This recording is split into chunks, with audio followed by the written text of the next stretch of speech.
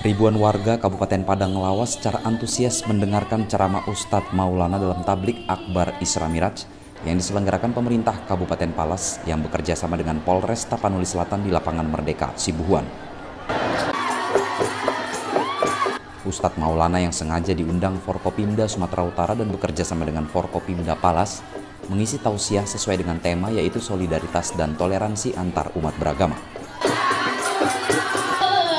Kapolres Tapanuli Selatan AKBP Muhammad Iqbal mengucapkan terima kasih atas partisipasi semua pihak, baik jajaran pemerintahan kabupaten, unsur Forkopimda maupun masyarakat atas terlaksananya tablik akbar ini.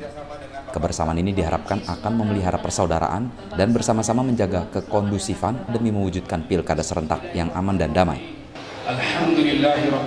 Di tempat yang sama, Gubernur Sumatera Utara Tengku Edi Nuradi yang diwakili Kadis PPKAD Sarma dan Hasibuan mengatakan bahwa antusias masyarakat Palas dalam menghadiri tablik akbar membuktikan komitmen yang kuat yang menumbuhkan rasa keberagaman dan kebersamaan dalam memperbaiki akhlak dan moral.